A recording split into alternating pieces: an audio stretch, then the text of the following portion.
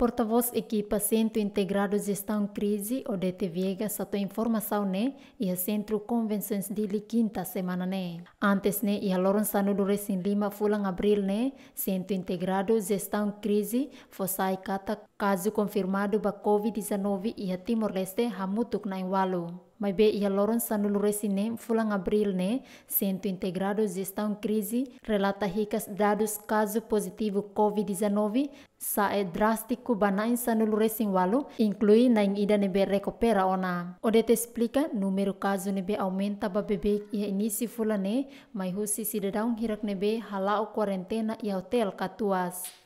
Suspeito Hamutu, 229 provável IHA negativo IHA 195 REM resultado 12 pessoas. Confirmado 18 pessoas.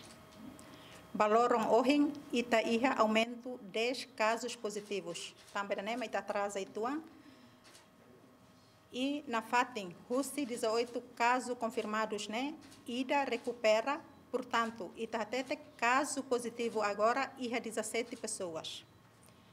10 pessoas nebemaka ohin iha, na fatin husi hotel katuas, taksira dan bemaka caso positivo, felizmente, sir hotutune, iha situação dan bemaka estável, nega? E sira balung ne bema positivo ne mos assintomático, sira ne bema kla iha hatudo sinais e semanas mear. Então, ira ne maka agora da ne é ita uh, itahare mai be na fatin hawatete kata mas que sira iha situação na mesma leve mas bem controlado significa que profissionais de saúde sira médico geral médico especialista inclui enfermeiro sira halo assistência basira 24 horas Tuirodete cidadão hirak nebe antes ne acumula hotel katuas hamutuk hatnu luresin tolu nebe composto husi timuruang husi estrangeiro pessoal saúde no funcionário hotel katuas rasik se continua halo quarentena badaruak e atas tolu.